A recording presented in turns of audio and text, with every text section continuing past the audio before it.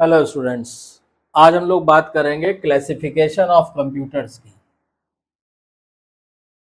Classifications of computers यानी कि जो भी जितने भी तरह के हमारे जो कंप्यूटर डेवलपमेंट से लेकर आज तक जो भी अवेलेबल हैं, उनको हम किन किन कैटेगरीज में क्लासिफाई कर सकते हैं। ठीक है? तो देखिए depending upon the various parameter पहला तो है आपका कि जनरेशन बेस्ड क्वालिफिकेशन जनरेशन का भी हमने प्रीवियस लेक्चर में पूरी आपको वीडियो डाली हुई है जनरेशन की कंप्यूटर्स के, आप चाहे तो उसको रिफर कर सकते हैं। तो पहला तो हो गया आपका जनरेशन बेस्ड क्लासिफिकेशन कि कौन सा कंप्यूटर कब हुआ, कैसे डेवलपमेंट हुआ, ये सारी चीज़ें ठीक है?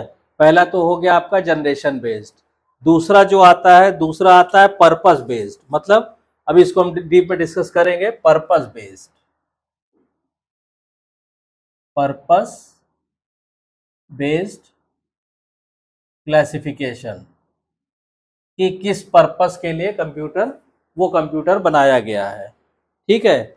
तीसरा है आपका फ़ंक्शन बेस्ड तीसरा है आपका फ़ंक्शन बेस्ड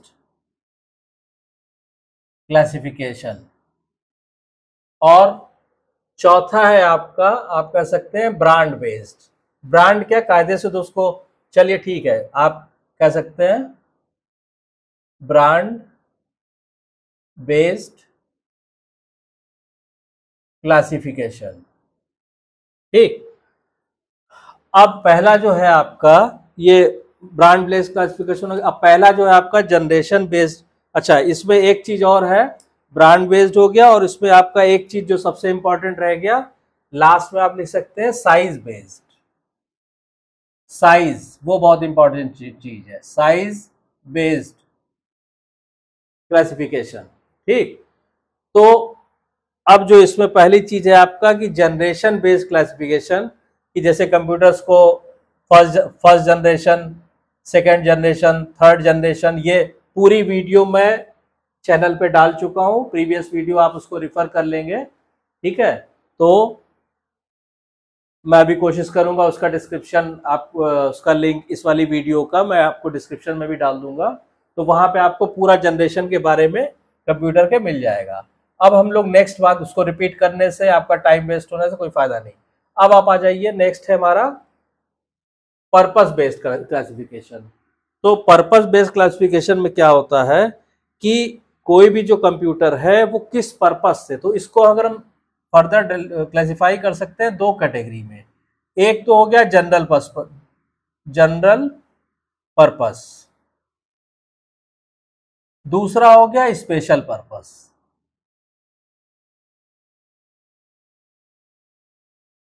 ठीक है? तो जनरल पर्पस जो कंप्यूटर बनाए जाते हैं, वो to accomplish the general task जो जनरल काम करने के लिए बनाए जाते हैं, जो हमारे डेली लाइफ में जैसे गेम खेलने के लिए हो गया वेरियस कैलकुलेशन परफॉर्म करने के लिए हो गया अकाउंट मेंटेन करने के लिए हो गया तो ये सब में जो कंप्यूटर यूज़ होते हैं, ये आपके जनरल पर्पस कंप्यूटर होते हैं। और स्पेशल पर्पस जो होते हैं, वो किसी पर्टिकुलर स्पेशल टास्क के लिए, जैसे जैसे स्पेशल टास्क में आप बात कर सकते हैं वेदर फोरकास्टिंग है। मौसम का हाल वेदर फोरकास्टिंग ठीक तो उसके लिए जो कंप्यूटर बनाया जाएगा, वो वही जनरल वाले कंप्यूटर वहाँ नहीं उसके लिए नहीं काम कर पाएँगे क्योंकि उसमें सेंसर लगे होते हैं और भी तमाम टेक्नोलॉजीज़ का इस्तेमाल होता है। ठीक तो जैसे वेदर फोरकास्टिंग हो गया सैटेलाइट लॉन्चिंग हो गया मेडिकल डायग्नोस्टिक हो गया, ये सब जो है काम आपका वेदर फोरकास्टिंग हो गया सैटेलाइट का लॉन्च करना हो गया लॉन्चिंग और आपका जो है मेडिकल में जो यूज़ होते हैं मेडिकल डायग्नोसिस में, इन सब में स्पेशल पर्पस कंप्यूटर यूज़ होते हैं। ये जनरल वाले कंप्यूटर जो आपके गेम खेलने के लिए, जो आपका ऑफ़िस का काम करने के लिए, और जो आपका जो है अकाउंट मेंटेन रखने के लिए वो ये सारे काम नहीं कर सकते हैं। ठीक है? तो ये हो गए आपके स्पेशल पर्पस पर्पस कंप्यूटर अब उसके बाद नेक्स्ट जो बात आती है function based classification function function based classification की बात का मतलब क्या हुआ कि जो हमारा कंप्यूटर है अच्छा पहले इसको हम क्लासिफाई कर दें कि जो फ़ंक्शन बेस्ड कंप्यूटर होते हैं, वो भी आपके तीन तरह के होते हैं। फ़ंक्शन बेस्ड कंप्यूटर, तीन तरह के। एक होता है आपका एनालॉग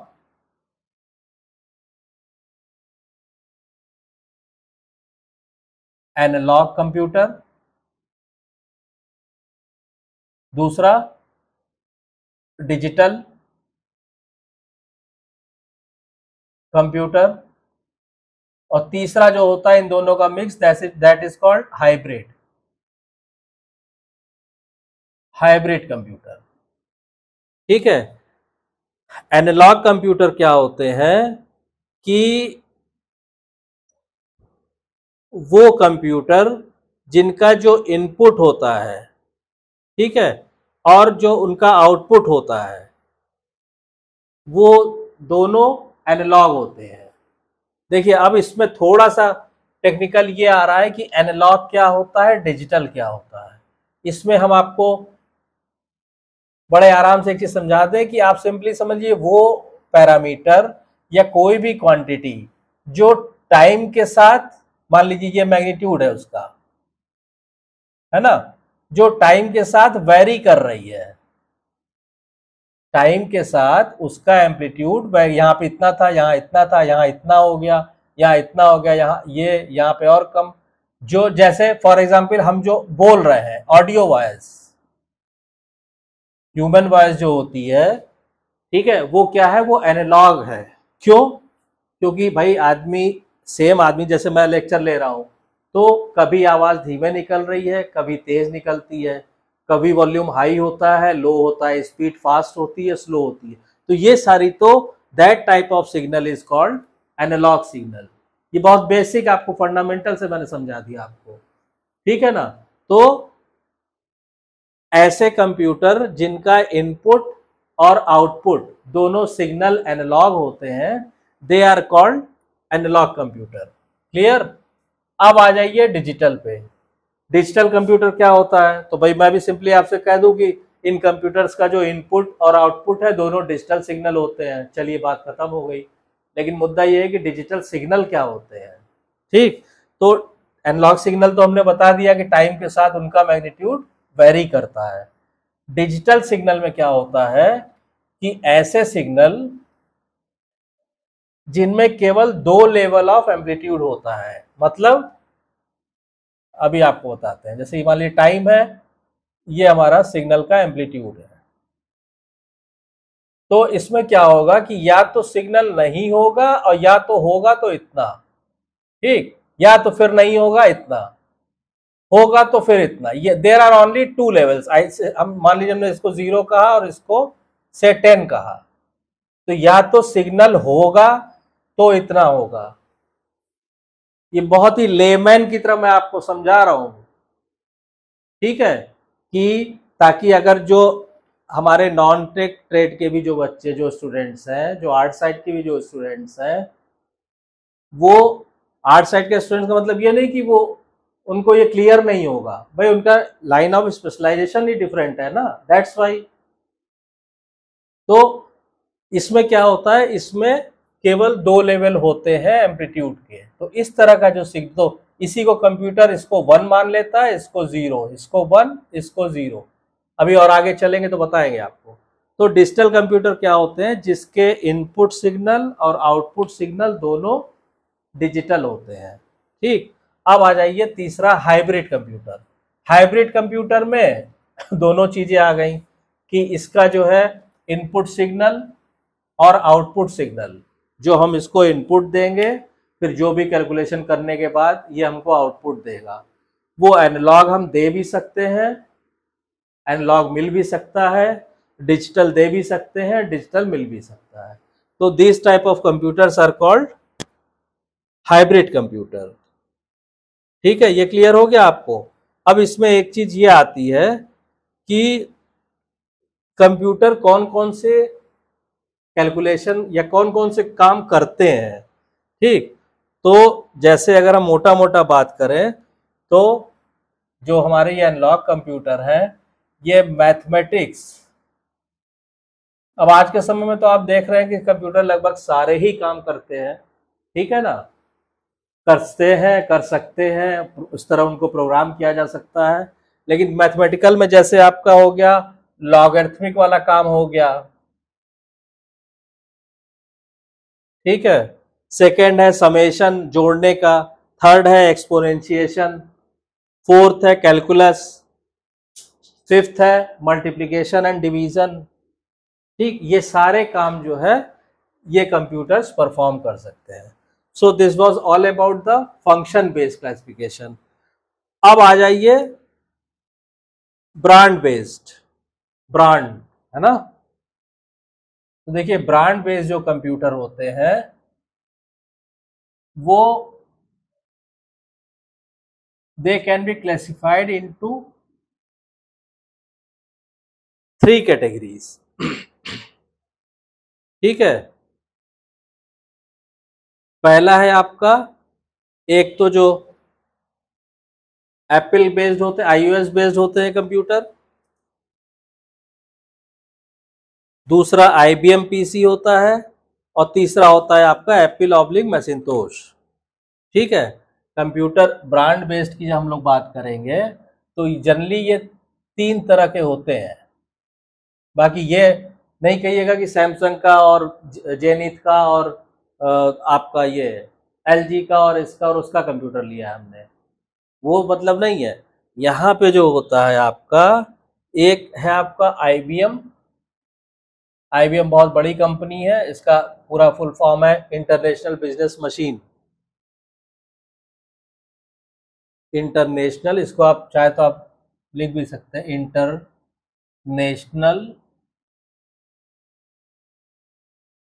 business machine. ये इस्टेब्लिश की गई थी ये कंपनी 1924 में कहाँ पे? यूनाइटेड स्टेट्स ऑफ़ अमेरिका में। ठीक।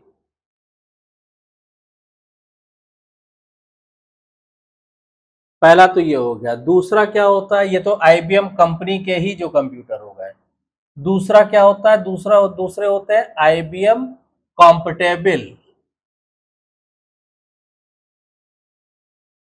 IBM compatible computer वो कंप्यूटर होते हैं जो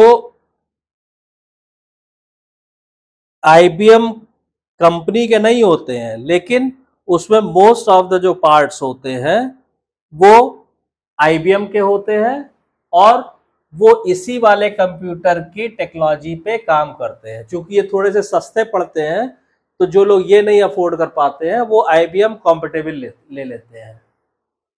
ठीक है आईबीएम कॉम्पिटेबल का मतलब क्या हुआ? वो कंप्यूटर जो लगभग इसी टेक्नोलॉजी के क्लोजर हो और इसी के फेरीफेरल मतलब इसी के इनपुट आउटपुट डिवाइसेस को इस्तेमाल करें। तो चूँकि ये महँगे होते हैं इनकी अपेक्षा तो जो लोग ये नहीं अफोर्ड कर पाते हैं, वो इससे अपना कार्य कर लेते हैं। और तीसरा जो आप लोगों ने सुना होगा एप्पल मैसिनतोष एप्पल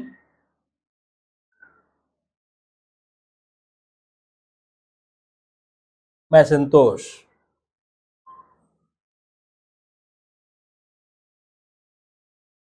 इसमें देखिए एप्पल मैसिनतोष में क्या है?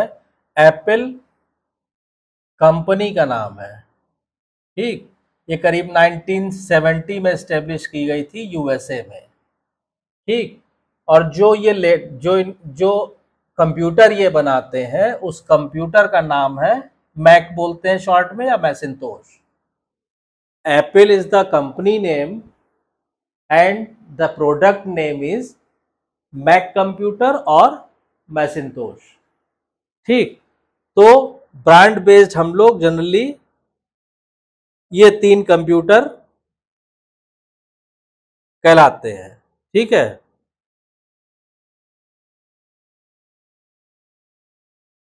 अच्छा अब इसमें ब्रांड बेस में एक चीज़ और आती है कि जब हम आईबीएम या आईबीएम कॉम्पिटेबल की बात करते हैं तो इसमें जो कंप्यूटर्स डेवलप किए गए थे, इन दोनों के लिए हम बात कर रहे हैं। ये टेक्नोलॉजी वाइज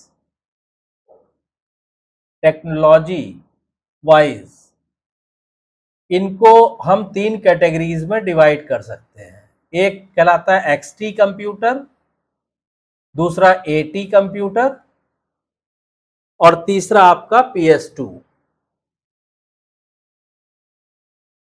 एक्सटी होता है एक्सटेंडेड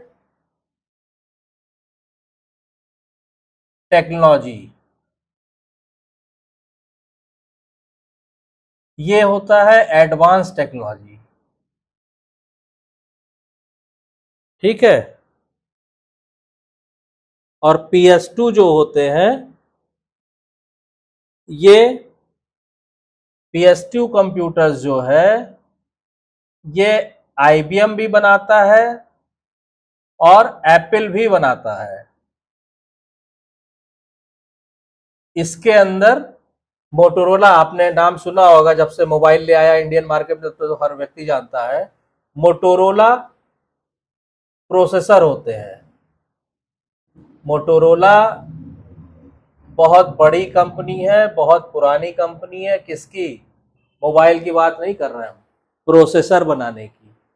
मोटरोला के जेड एट्टी और ये सब जो प्रोसेसर जो प्रोसेसर मतलब कंप्यूटर का जो मेन पार्ट होता है हार्ट तो मोटरोला जो है, सबसे बड़ी कंपनी है या one of the largest company है वर्ल्ड में प्रोसेसर बनाने की। ठीक? तो ये जो पी एस टू कंप्यूटर होते हैं, ये आई बी एम भी बनाता है एप्पल भी बनाता है, इसके अंदर प्रोसेसर किसका यूज़ होता है? मोटोरोला कंपनी का। ठीक है? तो ये याद रखिएगा। अब उसके बाद लास्ट जो बचता है, वो आपके डेली लाइफ से जुड़ी हुई चीज़ है साइज़ बेस्ड जैसे आज आप देख रहे हैं, हर जगह कंप्यूटर छोटी चीज़ में कंप्यूटर बड़ी चीज़ में कंप्यूटर तो साइज़ बेस्ड ठीक है? तो साइज़ बेस्ड जो कंप्यूटर होते हैं, वो आपके सुपर हो गया, फिर मेन हो गया, फिर माइक्रो हो गया मिनी हो गया एंड सो ऑन तो जो साइज़ बेस्ड कंप्यूटर होते हैं, वो जैसे आपके पहला क्या हो गया? सुपर कंप्यूटर अभी बात करते हैं इनकी। ठीक? सुपर कंप्यूटर के बाद mainframe mainframe computers उसके बाद बात आती है मेन फ्रेम के बाद आप चाहे तो माइक्रो भी लिख सकते हैं या कोई हार्ड एंड फास्ट वो तो है नहीं चाहे तो उस, उसके बाद आप मिनी लिख सकते हैं। ठीक है? सुपर कंप्यूटर हो गया उसके बाद आप मेन फ्रेम हो गया फिर मिनी कंप्यूटर हो गया फिर माइक्रो कंप्यूटर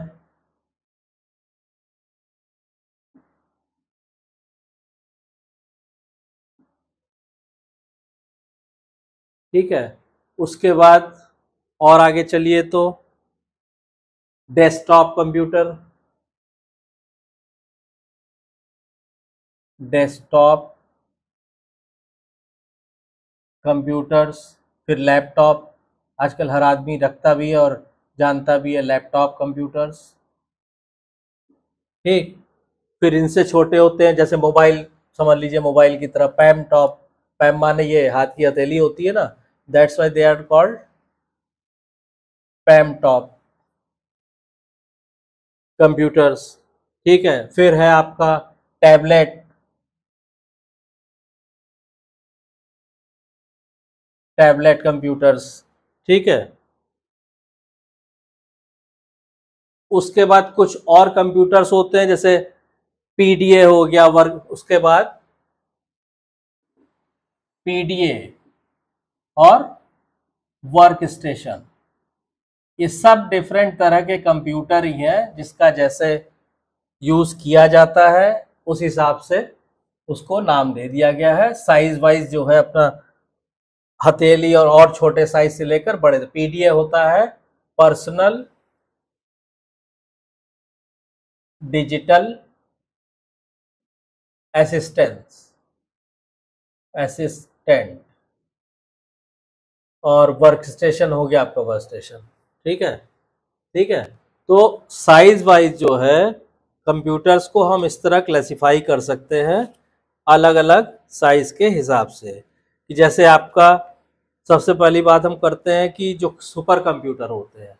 ये सुपर कंप्यूटर क्या होते हैं? सुपर कंप्यूटर मतलब the most powerful computer available at present time in this world इस समय विश्व में जो सबसे पावरफुल कंप्यूटर मौजूद है, वो सुपर कंप्यूटर है। इसीलिए ये कॉम्प्लेक्स होते हैं डिज़ाइन में और बहुत बड़े होते हैं साइज़ में। ठीक है, उस एक काम करेंगे, क्योंकि अभी ये काफ़ी कुछ ज़्यादा हो जाएगा तो आपको कंफ्यूजिंग हो जाएगा। अभी हम क्या करते हैं कि ये जो हमारा साइज़ बेस्ड क्लासिफिकेशन है। ठीक है? इसको हम नेक्स्ट लेक्चर में केवल इसका ही लेक्चर ले लेते हैं। नहीं तो अभी अगर इसी को और कंटिन्यू करेंगे तो सब आप लोगों का मिक्स हो जाएगा।